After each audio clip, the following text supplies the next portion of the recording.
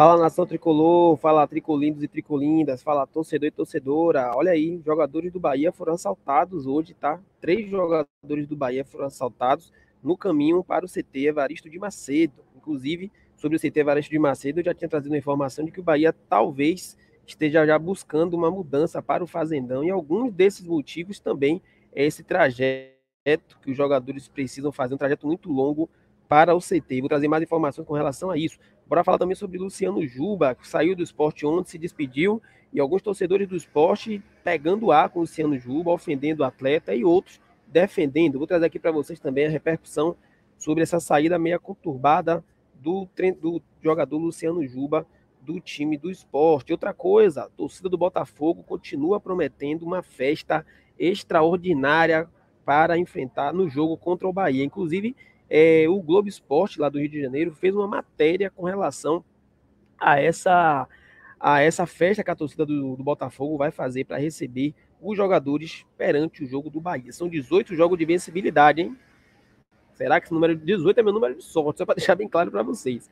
Bom, galera, antes de mais nada, sejam todos bem-vindos aqui ao canal, canal Tom Bahia, canal da Nação Tricolor, onde você fica sabendo dos assuntos sempre mais relevantes do nosso Bahia. Mas vem cá, você é Bahia? Se você é Bahia, você está no lugar certo. Aqui é seu lugar para ficar por dentro dos melhores conteúdos do nosso tricolor. E se você chegou até aqui, eu te peço aquele favorzinho, chega aqui assim do ladinho, deixa o like no vídeo, para que o YouTube entenda que esse conteúdo é de qualidade e distribua para todos os tricolores espalhados por esse mundo afora. Se inscreva no canal se você não for inscrito e ative as notificações, porque todos os dias tem vidas aqui, trazendo sempre as melhores informações do nosso Bahia para você, torcedor tricolor, e para você, torcedora tricolinda. Bom, galera, como a gente já sabe, o Bahia vai jogar contra o Botafogo no domingo, amanhã, às 16 horas, lá no Rio de Janeiro. Tá um jogo super difícil. O Botafogo vem a exatamente 18 sem perder. São 10 triunfos e 5 empates. O Bahia também vem em uma melhora. O Bahia venceu sua última partida contra o Bragantino, jogando muito bem na Fonte Nova. E a torcida do Botafogo está preparando uma super festa. E vou trazer aqui para vocês alguns detalhes, porque inclusive essa festa que eles vão fazer foi motivo até de, de reportagem lá do Globo Esporte, tá? Movimento ninguém, ninguém ama como a gente. A festa fazemos todos, sempre pelo Botafogo. Tá aqui, ó, um spoiler do que, é que vai acontecer lá no Rio de Janeiro. Deixa eu diminuir aqui, acho que vai ficar melhor assim. Aqui, assim ficou melhor. Tá aí, ó, um spoiler do que eles estão fazendo, tá? Esse mosaico aí, um spoiler. Lembrando que o Botafogo, a torcida do Botafogo, além de ter a própria torcida arrecadou um valor, o influencer é, Zé Neto, se eu não me engano, que é torcedor do Botafogo, ele também doou mais de 15 mil reais para poder ajudar nessa super festa aí que o Botafogo está preparando para os seus jogadores na partida de amanhã contra o Bahia. Bom, humildemente eu torço para que o Bahia jogue um chopp nessa festa que eu sei que vai ser muito bonita, mas eu espero que o Bahia chegue lá e jogue, jogue um belo de um chopp nessa festa aí que vai ser produzida pelos torcedores do Botafogo, tá? Bom, galera, bora falar agora ainda sobre Luciano Juba. Luciano Juba saiu do, do esporte, não é mais jogador do esporte. A saída dele teve muitas teve muita repercussão, alguns torcedores foram contra, alguns torcedores a favor. Na saída de jogo ontem, entre vaias e aplausos, mesmo assim ele foi lá, ficou até o final da partida, falou com os torcedores, é, se despediu de, de, de, de todo o jeito da torcida, mas tem torcedores que não aceitou essa saída de Luciano Juba e tá pegando ar aqui, ó. Vou colocar para vocês aqui, por exemplo, esse Twitter, Central da Ilha, olha o que ele colocou. E a despedida de Luciano Juba foi a cara da passagem dele pelo esporte. Que é isso, rapaz? Um fracasso. Que exagero, hein? Jogador medíocre que vai ficar marcado na história do clube como um traidor que tirou um título e uma classificação até nunca mais. Rapaz, que exagero isso aqui, hein, gente. Um fracasso. Falar que a passagem do Luciano Juba pelo esporte foi um fracasso, realmente é um bem do exagero. E aí, Rick Estrela, meu parceiro Rick Estrela, colocou aqui muito ódio e ingratidão no coração. Igor Moraes, que é torcedor do esporte, colocou: vocês falam muita merda, típico poste para Itar. Se não fosse Juba, nem no G4 a gente estaria. Finalmente, né, um torcedor mais consciente e aí ele colocou, o Central da Ilha respondeu aqui exatamente, estou, te, estou necessitando e ganho vida com isso. Passa um pix aí, por favor. Aí teve outro torcedor que colocou aqui, ó. Por isso, por isso que quando os jogadores saem, coloca para uh, no clube, por causa de torcedor igual a tu, não reconhece o que o jogador fez. Ainda bem, né? Tem alguns torcedores que reconhecem. Chico botou aqui, ó, essa conta é a cara do torcedor rubro-negro, que vai que vai ao time no decorrer do jogo, megalomaníaco dos piores, vai dormir juvenil, manhã, deixa tu ficar acordado até agora, é.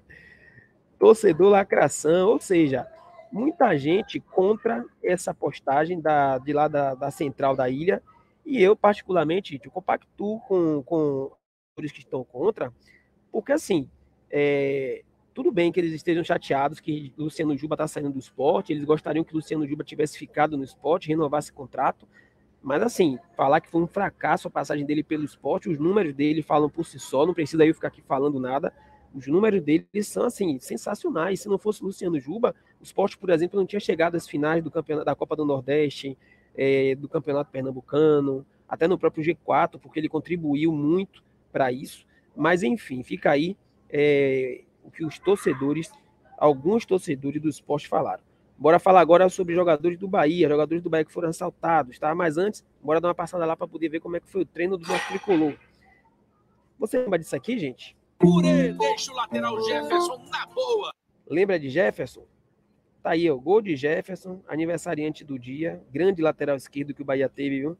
Eu cheguei a acompanhar a época dele, um dos melhores laterais que eu vi jogar aqui no Bahia, ele, Avni, Calisto, também um grande lateral. Aí, ó, cruzamento na conta, cruzamento na conta, na conta. Aniversariante do dia, Jefferson. E pela esquerda, Jefferson. Saiu o cruzamento. Bora lá, bora subir, porque tem mais notícias para poder trazer para vocês aqui. Aqui, ó.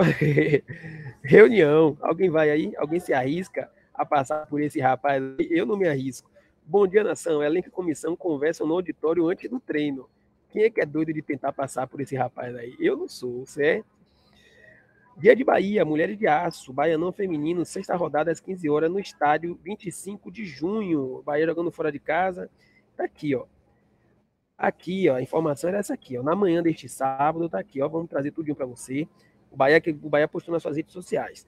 Na manhã deste sábado, dia 26, enquanto saíam para o treino do dia, três atletas do Bahia foram assaltados em Camaçari. Os uruguaios Nicolas Azevedo e Camilo Cândido estavam com o argentino Lucas Mugni, rumo à cidade tricolor. Todos estão bem e trabalhando normalmente no CT Evaristo de Macedo. O clube está prestando todo o apoio e necessário aos envolvidos. Então tá aí, galera. Essa, esse assalto, esse assalto foi durante o trajeto de casa para o para o estádio, ou para o estádio não, para o CT Evaristo de Macedo.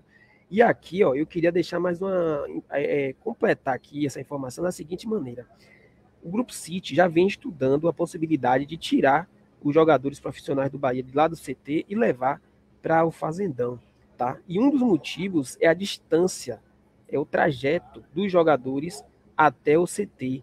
Outro motivo, a, a, a logística de dias de viagem, de sair do CT Evaristo de Macedo, ir para o aeroporto, locomoção para o estádio, entre outras coisas. Realmente o CT do Bahia, lá em, em Dias Dávila, é um CT muito bom, mas a distância é muito grande, tá? É muito grande já teve acidente com jogadores no trajeto, agora jogadores sendo assaltados. Então, assim, realmente é algo a ser estudado e eu acredito que de um médio a, médio a longo prazo o Grupo City vai acabar tirando os jogadores do Bahia de lá, tirando o CT, principalmente dos profissionais, treinarem lá no CT Varisto de Macedo, que é muito longe, e cada dia que passa acontece uma coisa diferente. Já teve acidente, já teve assalto, vai esperar acontecer alguma coisa pior. Eu acho que a saída de lá é algo que não vai ter volta vai acabar saindo mesmo, voltando pro Fazendão, tá bom? Deixa a opinião de vocês aí com relação a isso, o que, é que vocês acham. Bom, galera, vou finalizar por aqui, espero que vocês tenham gostado e volto a qualquer momento trazendo mais informações do nosso Bahia. Você é Bahia? Você é Bahia está no lugar certo, fui!